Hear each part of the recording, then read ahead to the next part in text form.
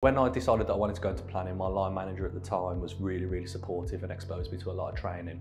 And whilst I was exposed to that training, doing the training, I met my mentor. Uh, so I have a mentor within the business and he's been my mentor now for, I think it's around five, four or five years I've known him. And he sort of mentored me all the way through this, this process as he followed a similar career path to myself. He was an engineer, went into planning and progressed through the business as well. So he's been really, really helpful and he's still my mentor to this day.